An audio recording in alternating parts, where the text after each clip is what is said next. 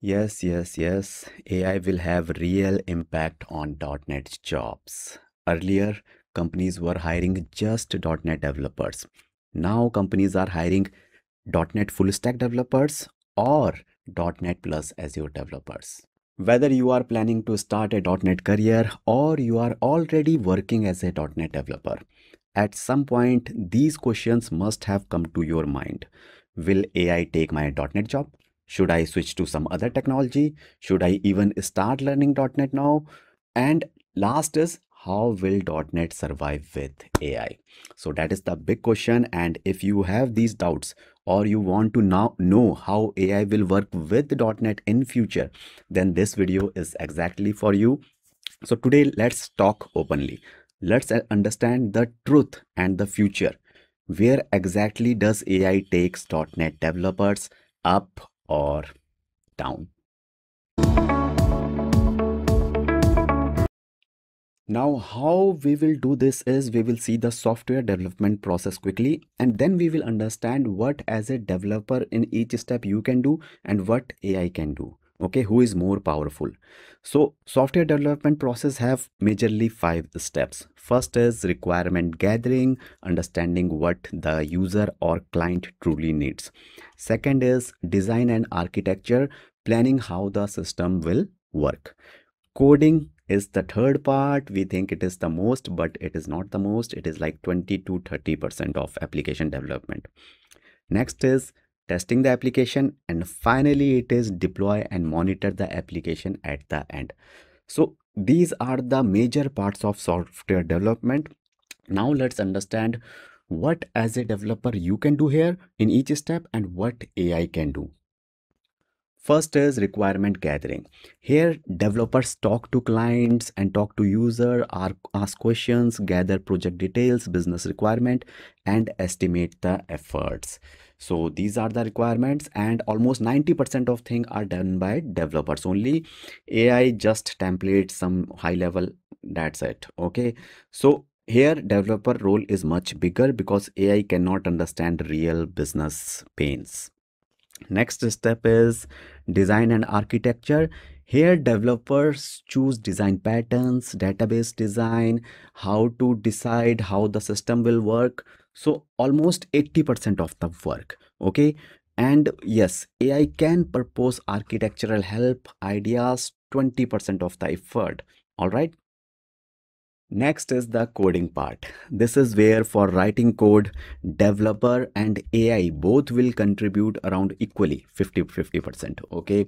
AI cannot do it alone. AI can write faster code, but code must be under supervision of uh, developers only. No company will deploy AI generated code directly without developer reviews. Okay. Next phase is testing. And here developers do unit testing, manual testing, integration testing. 80% of the efforts are done by developers. And only 20% like generate unit tests can be done by AI. Last one is deploy and monitor the application. And here developer only configure the server, debug production issues, almost 90% of the work. AI can give suggestions and recommendations here, but developer role is much, much stronger and direct. Okay. So what is the conclusion here of all of this? So here all the all are the step. Even after AI, if you will aggregate all the steps, developer role is around 50 to 80% in each of the step. So developer will decide what to do most of the things and AI will help in speeding up the process. Okay. Now, if you are still not convinced, then see what AI can do. AI can write code faster.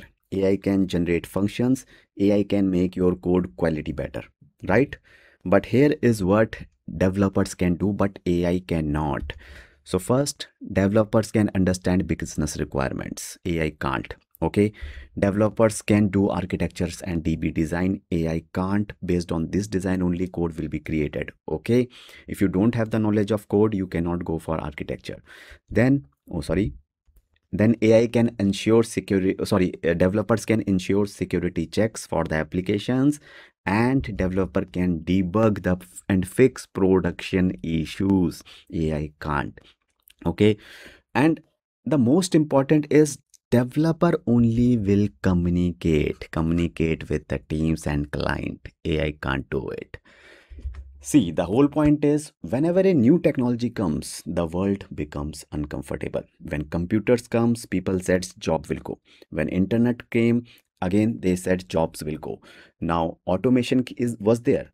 People said job will go and now AI is there and once again everyone is repeating the same thing. But look around you.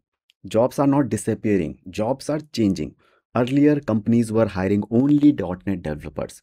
But now they are mostly hiring either .NET full stack developers or .NET plus Azure develop developers. Now companies are expecting more because with AI, a software engineer can learn more and do more. So the logic is very simple. It's all about cost. See, with AI, one software engineer can develop one application faster with AI in less time, right?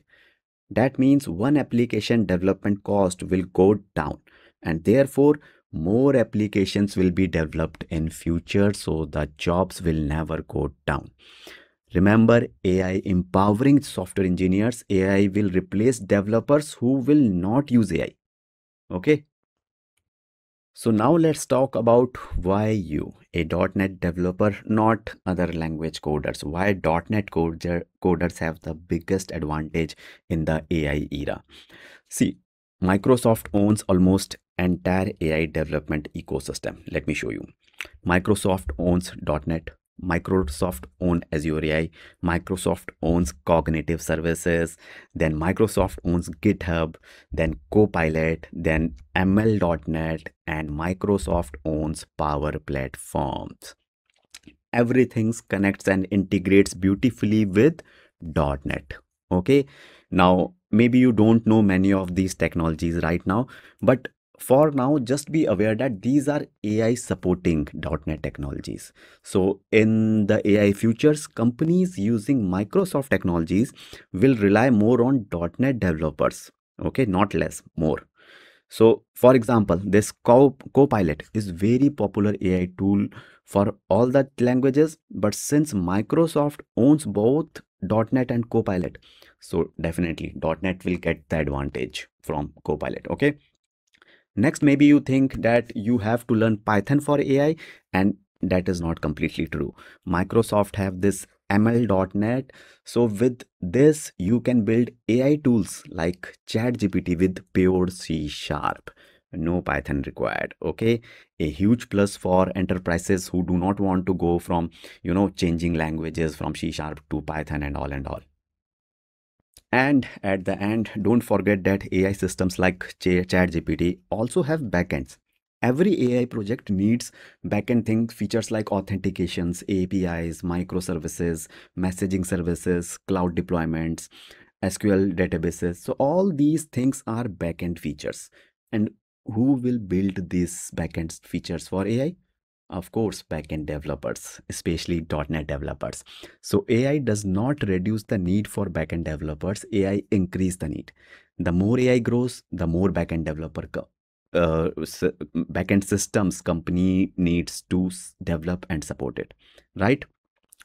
Now if you are still not convinced that .NET is safe from AI then let me show you some real examples of the candidates who are getting .NET jobs these days.